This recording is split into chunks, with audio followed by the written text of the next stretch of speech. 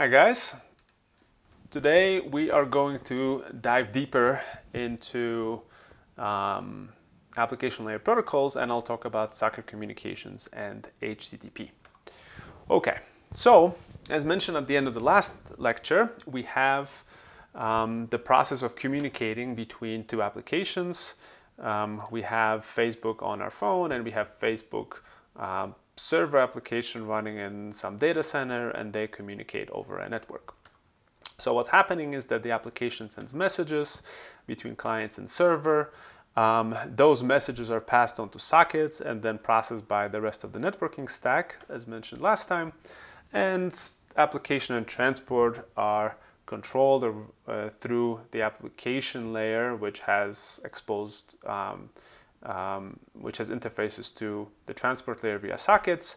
The transport layer, network layer, and data link layer are all implemented at the OS, and at the data link layer, the operating system interacts with hardware um, to actually send data as electromagnetic signals or electrical signals or optical signals over the different hops of the network. So what we'll focus on today is the interface between applications and the transport layer via sockets. Okay. Basically, there are two ways of two transport protocols that are available to you um, in the internet. There are other transport protocols, there's tons of research proposals, but as it turns out, all the other proposals sort of fall either on the UDP side or on the TCP side. Um, and so often just those two are used. They also get through firewalls. Um, you know, and a lot of the solutions of the other transport protocols you can kind of achieve using these two protocols anyway. So those are the two solutions that just keep surviving because they occupy the space that's actually needed. They, they hit the two sides of the trade-off effectively. So UDP or user datagram protocol, you can think of it as unreliable data transfer. So to send data from client to server or between two endpoints, you don't need to set up a connection. They don't need to pre-communicate to figure out if they are online. You just kind of address a packet and send it off. It's sort of like sending a letter. You just address it, put it in a mailbox, and hopefully someone is at the other end to receive it. There is no flow control, which means that you can send more data than the client can receive. You can overwhelm the receiver. There is no congestion control meaning you can send so much data you overload the network, you create congestion in the network, and there are no guarantees on end-to-end delivery, throughput, or any sort of security guarantees. So this is basically just send data on the network and let it rip. Um, now, this is great for sending individual messages where, which may or may not get lost. It's not great for transferring lots of data because lots of data can overwhelm the network or the receiver, and so we need something like Transmission Control Protocol or TCP. Um, and you can think of it as reliable stream transport. The reliability is uh, uh, not fully guaranteed, but okay. TCP is connection oriented, meaning that before you get to send any data, you actually need to, or TCP will figure out if the receiver is there and ready to, to receive it. There is flow control, meaning that the receiver can kind of tell the sender, hey, you're sending me too much data, don't send any more until I get a chance to process what I already have. There is congestion control, which means that effectively the network can send a signal saying, hey, there's too much data being sent, you need to kind of back off on your sending rate. But there are still no guarantees on end-to-end -end delay. That is just a fact of packet switch networks. Uh, there are no guarantees on throughput, even though TCP will try to maximize throughput. And there are also no guarantees on security. When we get deeper into the uh, transport layer portion of our lectures, we'll talk about how these mechanisms are implemented. And I'll give you guys options for protocols that you can use to achieve sort of guarantees on end-to-end -end delay um, and as well as uh, security guarantees on your traffic. Okay, so let's look at how socket programming works at a high level. Here on the left is UDP, on the right is TCP, and I'll walk you through this. So this is in Python. We're going to import socket. And then on the server side, so this is server code, we're going to create a socket and we will say this is an AF INET socket, um, which basically means an IP socket. This is um, kind of old naming convention that still survives to this day. Um, and this is going to be a datagram socket, which was a datagram is sort of a packet. This is also an old naming convention, but this basically means UDP. Okay, and we're going to bind this socket to um, a particular address and a particular port, meaning that this socket will pick up data sent to this address. This is um, a local address, meaning kind of this particular host, meaning us. And uh, we will use port 5000 to receive, on, on which to receive data. And I'll get into kind of this stuff a little bit later too. So for now, we're just um, kind of reserving a particular socket on this port. Um, on the client side, this would be the other application. We would also open a socket that's a uh, an IP UDP socket, and we would send bytes to the socket S that we just created. Um, you can say whatever, hello, convert it to bytes, um, and then you're sending this data to a particular IP address and a particular port. Okay, so to do this, you do need to know the IP address of the server. Right, the server doesn't need to know it; it just says me over here, but the sender does need to know the IP address of the server, and it does need to know the port on which the server is listening. Right? These would be kind of configured as part of your application startup. Okay. Then back to the server. The server can call uh, socket receive from buffer. It specifies buffer size, meaning how many bytes it wants to receive uh, in this request.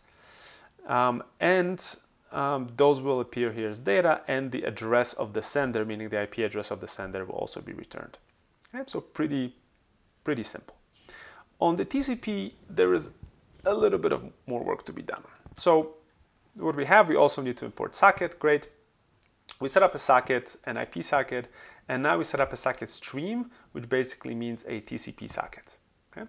We're going to bind this socket to our local port, and uh, sorry, our local IP address and port 80. Port 80 is typically used for um, HTTP requests. I'll talk about reserved ports a little bit later, but um, ports 80 are open for, are used for receiving HTTP requests and um, having a known port is also helpful because the firewall can then allow incoming traffic only on port 80, for example, to a web server and block all other kind of uh, traffic to that server. And we're going to then listen for connections on that socket, and this will accept one connection at a time. Okay, so there can, there can only be one connected client at a time. Now on the client side, we're going to also open a socket, and we're going to have a connect call, okay, um, on the IP address of the server and on port 80. So we do need to know the IP address. Now, when we do a connect, we need to then look at what's going on on the server. So this will kind of start opening connection, send a TCP SYN packet, and on the server, the server basically starts listening, and then it starts this socket.accept call. So this is a blocking call, and once a client tries to connect, this call will return, creating a new socket. Okay, I'll come back to that, and we'll also return the address of the client. Okay, now the server can start receiving data. Now, for that receive to return anything, um, once the server accepts the connection, this connect call returns, allowing the sender, the client, to send some data. This is a GET request, HTTP GET request. I'll talk about those in a second. And when they send the GET request, um, the server will be able to receive some data and then send some data back. Um, this is just echoing this data, which is not particularly useful, but there you go. Um, and so when the data is sent back, now the client can receive the reply, and so um, they can sort of keep communicating. Right? So once we have a socket connected and accepted by the server, the client can keep sending and receiving data through socket S, and the server to communicate with that particular client uses this connection socket to do all the communication with this particular client. if we allowed more clients to connect by changing this number, each accept would return a new connection to each of the clients, um, which is great because that means that your web server can serve data to multiple clients at a time, not just one, um, not just one at a time. Okay, so um, I've recorded some videos. The links to that are here uh, that show you guys how to connect to, how to set this up in, in Python. Um, I'll play those now and, as part of the lecture because this is what I do in class, but you can also go to those later and um, um, kind of watch them uh, as standalone things. Okay, I wanted to show you guys how to set up UDP communications between a client and a server. So on the left side of the screen here we have the client code and on the right side of the screen we have the server code.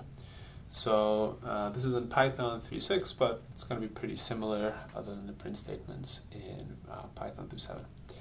So what happens on the server side is uh, we first import the socket library, which allows us to open sockets. And then we open a socket assigned to variable s for AF_INET, which is which means IP, and then socket datagram, which means UDP. I have that saved up here in comments. Uh, from there, we're going to bind the socket to um, our localhost IP um, and port 5000. And from then on, this um, server will start listening to packets coming in on that port to this particular IP. Um, as data arrives, we can then call um, the socket to receive data from the buffer. So here we're going to receive whatever data the socket has up to 64 bytes of that data and this returns a tuple, data and address from which um, the data has been received. And then finally we can print out the data um, by first decoding it from UTF-8. Okay, so what happens on the client? On the client, similarly, we import the socket. From there, we um, open the socket in the same way as on the server, and now instead of binding and uh, receiving from the socket, we're going to send to the socket this particular data, which is the string hello. Um, and because we need to send bytes, not a string, into the socket, we're going to encode that string into bytes using the UTF-8 encoding. And then we set the destination address and port. Okay, so let's see if we can run this. Um, we will, ah, wrong screen, here we go we will start the receiver. Okay. and here we will start the sender okay. And so what you see is that the receiver prints out here received message hello. And that is the end of this demonstration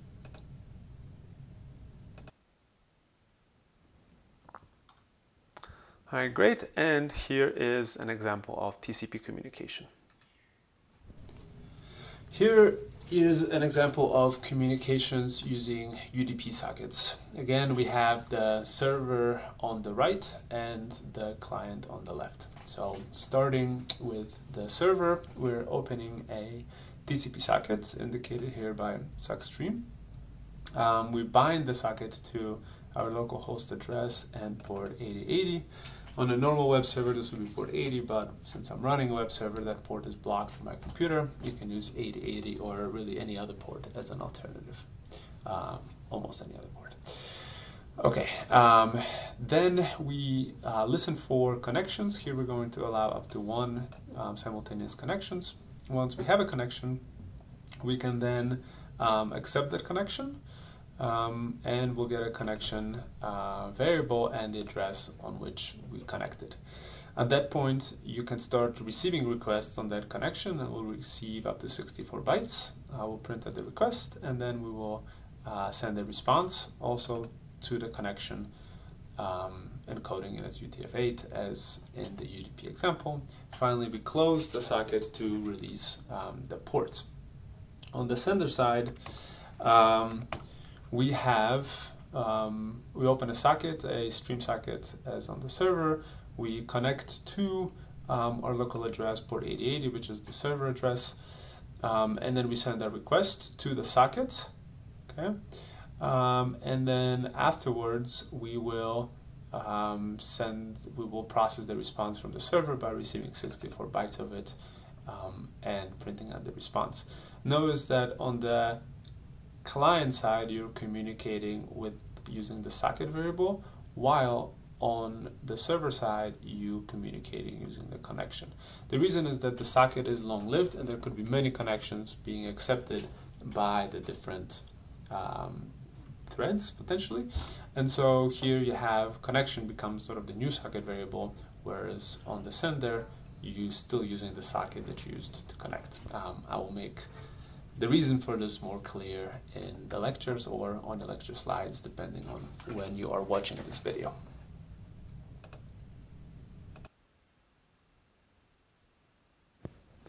Okay. Um, so, um, here's what happens when the connection actually happens in uh, more detail. So, what we have is a client and a uh, server. And here's the kind of connection code as described earlier. Now, over time, on the kind of descending y-axis here, this is what happens. Initially, we open a, uh, we bind a TCP socket here on uh, local address and port 80, and this is a server socket. Then client attempts to connect to the IP address of the server on port 80. Okay, so the client creates a socket that is to the server IP on port 80 from client IP on port 5000. The port here doesn't matter, it's just any outgoing port.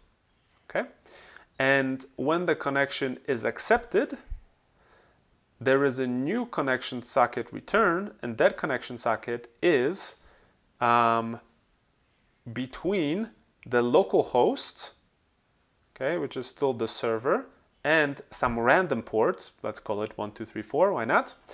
And the IP address of the client and the port of the client.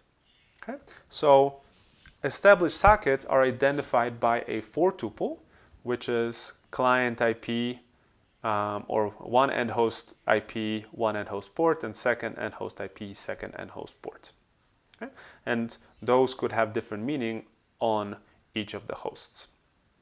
And kind of different values at each of the hosts, but still connect uh, kind of these two internet hosts. Okay. So that's socket programming at a high level. We'll get into the details of transport protocols when we talk about the transport layer. Um, but now I want to move on to the hypertext transfer protocol or HTTP, which is how, um, which is what websites use to get data from um, the servers, or what clients use to get websites from the servers. Okay, so HTTP was built to carry hypertext markup language, HTML, um, lots of evolution there. Now we're at HTML5. Um, and it basically creates a grouping between objects and content. So you have some uh, content that is HTML, and then there are embedded objects, um, which could be scripts, it could be images, could be video. HTML um, kind of groups it all together and also allows the browser to render it on a page. So it's a standard, and there's browsers that kind of um, implement the standard of rendering HTML. Okay. Objects in HTML are identified using uniform resource locators or URLs, and this is an addressing scheme for web objects. So um, there's a scheme which would be, for example, HTTP. Okay, um, colon slash slash. You have domain, which would be NewYorkTimes.com or an IP address, and then you can specify port or not. Um, if you don't specify port, it's going to be um, for example, 80, if you're using HTTP here as a scheme, if you're using HTTPS, it would be a different port. Um, there's other schemes you can use. Then you have slash, then you have a path, um, which is kind of like slash index or you know wherever the file actually kind of resides on the server. And after a question mark, you can have a query string, and then you can have a, uh, a, pound sign and then a fragment ID, which gets you to a particular part of the page. Okay, so um, some of all of the elements of URL are used. Okay. Um,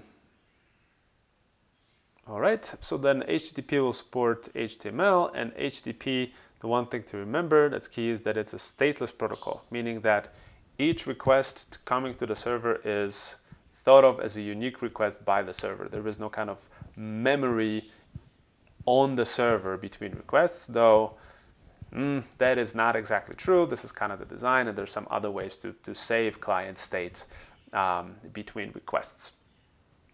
Okay.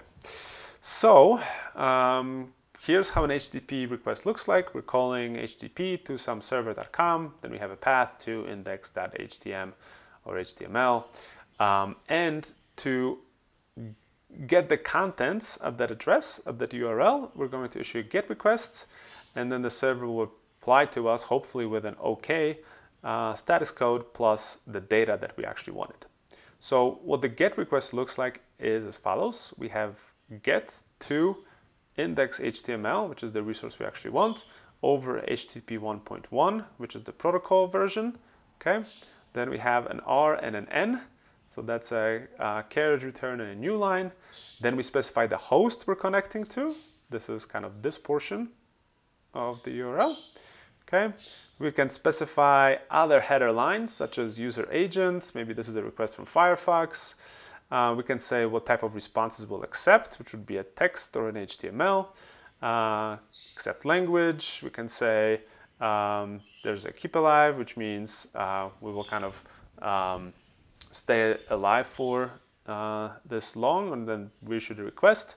Um, uh, we have a connection, which we'll try to keep alive um, for um, kind of this, this duration. So basically, this, the client will wait this long to receive the data.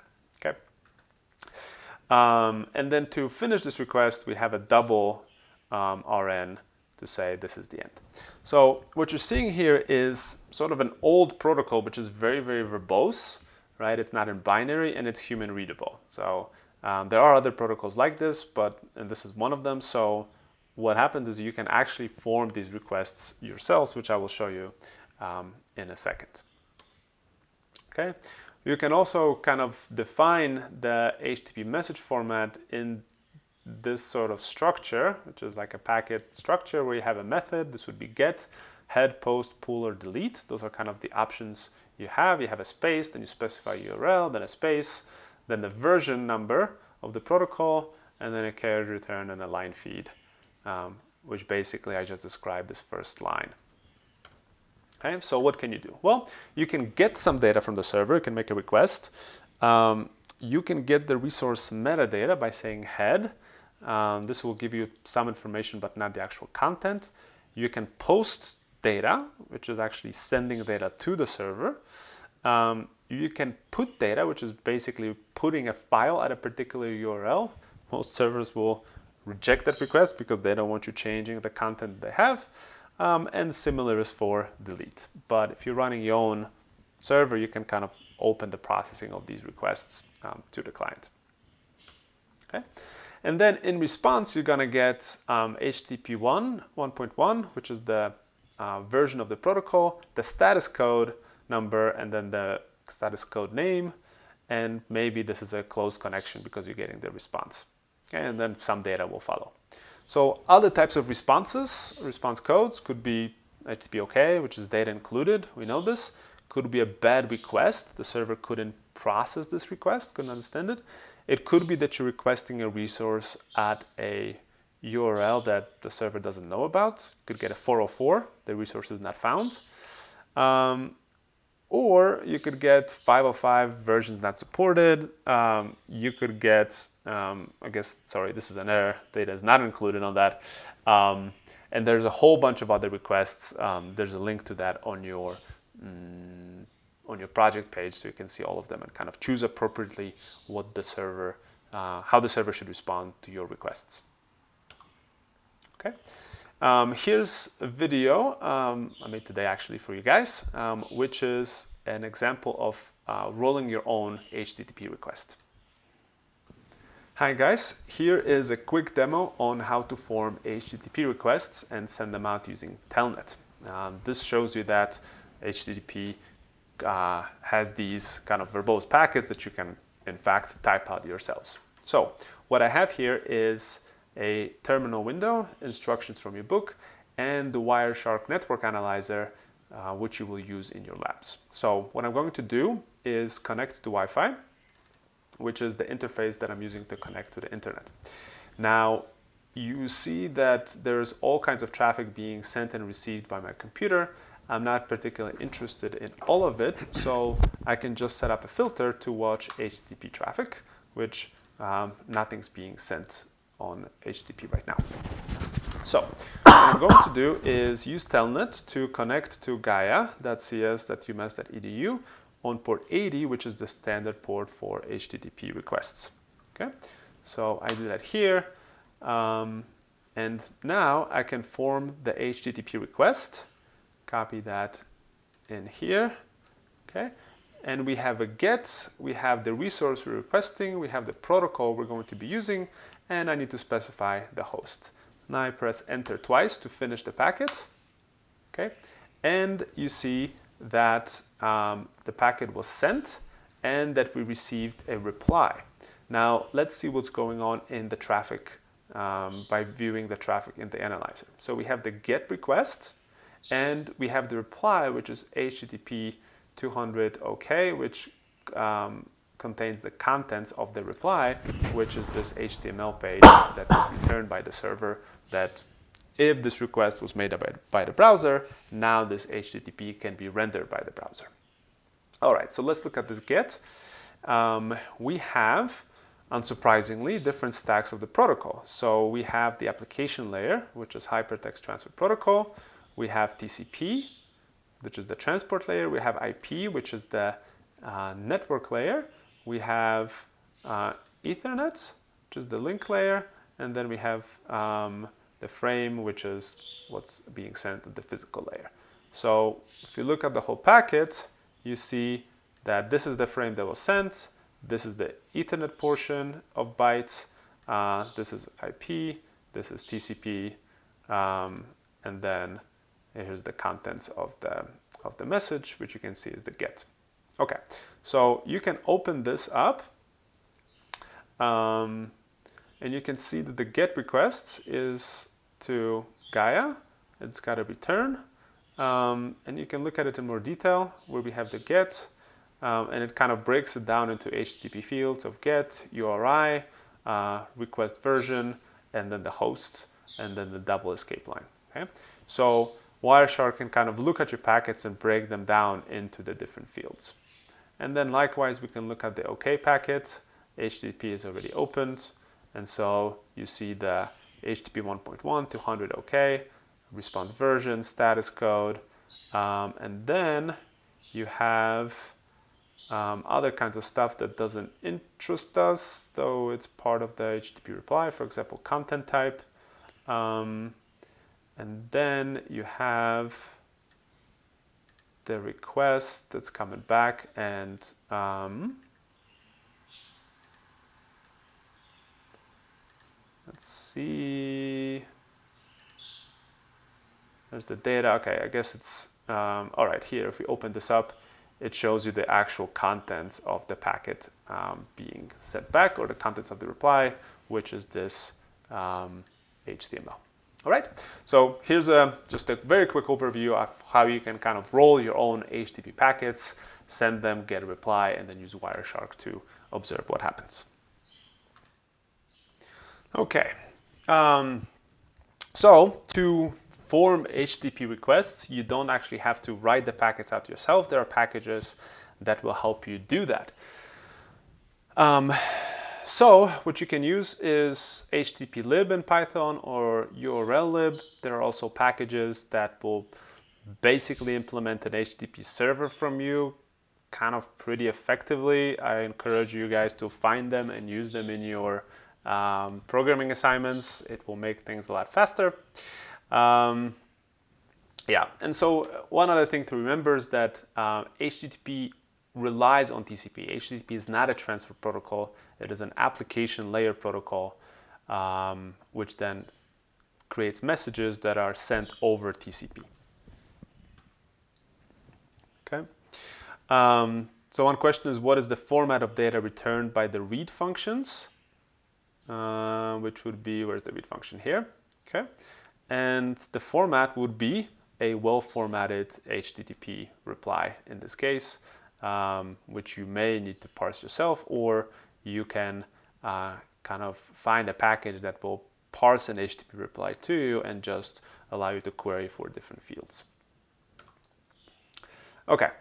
Um, two more things I want to talk about as far as HTTP. The first one is transfer modes. So let's say that we're requesting an, uh, an HTML which contains uh, in the body of the HTML um, objects such as picture one and picture two, and those would be rendered by the browser. So what is happening? Well, first we're going to get the index HTML, um, which is this. Then the browser will say, okay, great, there are embedded objects, and now I need to request those as well. So I'll send a get for picture one, okay, gets me the content, get for picture two, okay, gets me the contents. Now, the question is how do those transfers actually happen in HTTP? The way they happen is different across different HTTP versions. So in the first version of HTTP 1.0, which is not currently used, um, HTTP would use non-persistent connections. What this means is that the request for each object of the three objects would be done over a separate TCP connection. When we talk about TCP, you'll see that the transfer rate of TCP ramps up over time. So the more data you send, the more accurate throughput you're getting. The throughput kind of expands into available network resources. And so if we're starting a new connection for each object, there is this ramp up, which means you're not actually getting very good throughput on average. Okay. Um, and because you're creating multiple TCP connections to the server, that actually ends up um, wasting server resources because for each connection, the server needs to allocate some memory. All right, so people came up with HTTP 1.1, which relies on persistent uh, TCP connections. Okay, so we have one TCP connection for all objects. That's great because there's lower overhead for the server, and now the connection can kind of ramp up its throughput to the available network resources. Um, the different GET requests would be issued, the messages would be issued over the same TCP connection, um, and as I said, allow TCP to reach high transfer rates. Okay, so the problem with this is that we're still sending kind of one request at a time. They're just reusing the same TCP connection. So HTTP 2.0, which is uh, has been standardized, I guess, over the last couple years. There was something called QUIC before. Um, I did some research on this stuff as well. Um, but now it's, I think, pretty much a done deal on how to do this. Um, allows multiple elements to be loaded in a parallel over the same connection. Okay, so we're still using one TCP connection, and we can issue multiple GET requests, kind of one after the other, and the server can reply to them at once, meaning that it can send some bytes for picture one, then some bytes for picture two. It can kind of interleave the replies. Now this has um, several advantages in that it eliminates head of line blocking. So what can happen is that if we request picture one, it's a really big picture, um, in HTTP 1.1, the server would be sending all the data for picture one, whereas maybe there is some other more important resource, like some script um, that is required to render the page, or picture two maybe is more important, who knows. There's some other high priority thing that the server now can't transfer because it's busy transferring picture 1 under HTTP 1.1. In HTTP 2.0, you can make the request for all the objects, and then the server can prioritize which bytes it sent first, or the client can send can basically specify priorities for the different objects and change them while the objects are being transferred to say, hey, I want picture two to be sent first to me for some reason, or some script to be sent first to me for some reason. Okay. There are some other benefits to um, HTTP 2.0, such as server compression, uh, sorry, header compression. So instead of using this kind of very verbose protocol, it can compress those headers um, and send them as binary. Okay, and there's one other thing which allows the server to basically push data to client, which the server thinks the client could be interested in, um, like some updates, for example. Um, In practice, this is never used because, or rarely used because servers have a hard time deciding what the client actually wants. Right? So we still rely mostly on clients to request the content. Okay. And the last thing I want to talk about is cookies. So um, I think this is the last thing, or maybe there's one more. Okay. Um, so as I mentioned, HTTP is stateless, meaning that the server doesn't remember anything uh, from between one request to the other. Um, and so it often ends up resending a lot of um, data, which wastes network resources. That's not great. So what people came up with is this alternative mechanism of cookies, which allows some state to be saved, um, but not in server memory. Okay. So what happens here is that the client sends a post request, including form data. Maybe you filled out some form on, uh, on a website, and now that data needs to be sent to the server. Great. So the server will receive that form data and push it into a database and say, um, send a reply and have a set cookie header and it will give the cookie ID. Okay? Now the client can take that cookie ID, or the cookie rather, and put it into a file that the browser uses, uh, or maybe in browser memory, depending how the browser implements it. Now on a subsequent request, when the client wants to get a page, it can send the cookie, which then the server can use to read state from the database and say, oh, okay, this user uh, is described by this form data. Now I can customize the reply or customize the content that I'm serving based on some data that I read from the database. Okay, so that's pretty great. Um, this can be used for authentication. This could be used for shopping content, uh, shopping cart contents to basically let server um, kind of load some data from the database before processing a GET request from the client. Now the problem with this is that this is the idea of how this should work, that the cookie is a small thing, but the state is actually uh, saved on the server.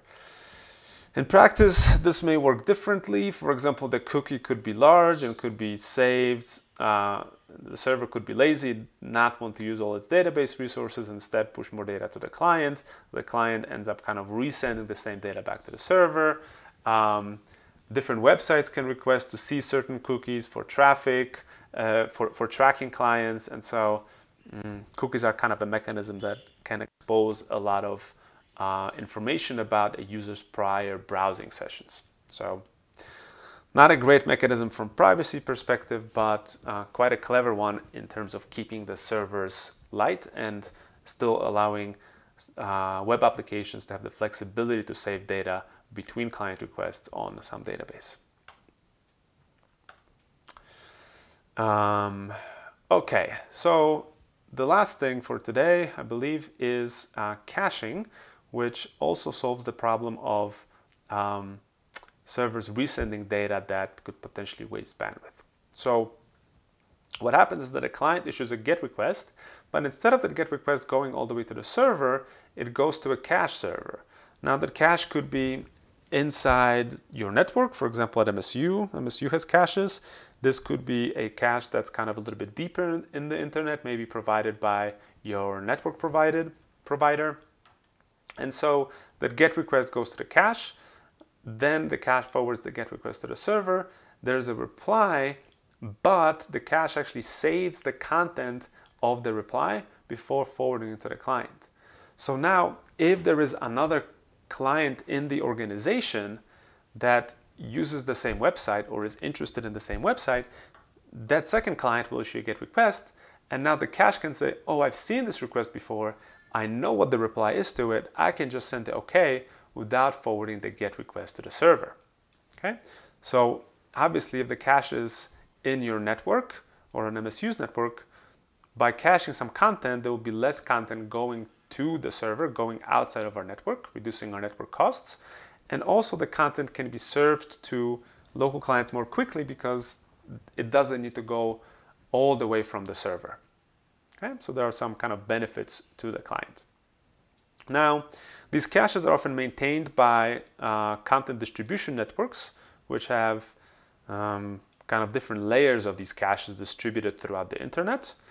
Um, and very rarely do uh, these content distribution network servers actually have to go to the original server, or what's called the origin, to get the data.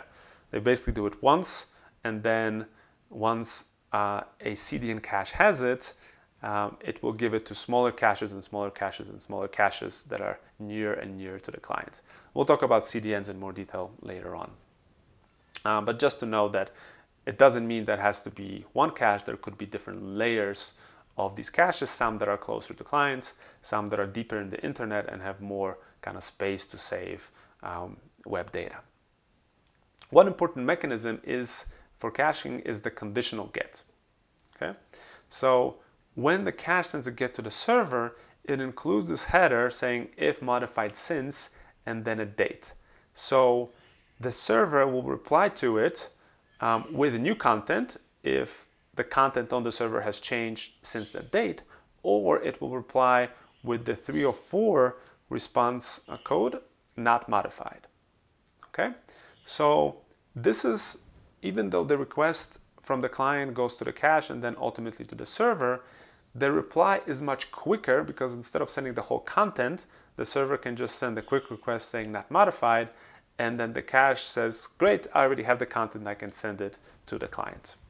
Um, so that's at a high level how HTTP caching works. Okay, just explained that part, so I guess I don't get to ask you guys that question. And um, that finishes the lecture for today. It was, I think, a little bit of a long one, but um, that's okay. I will talk to you guys later in um, office hours if you have any questions about it. All right, thanks. Bye.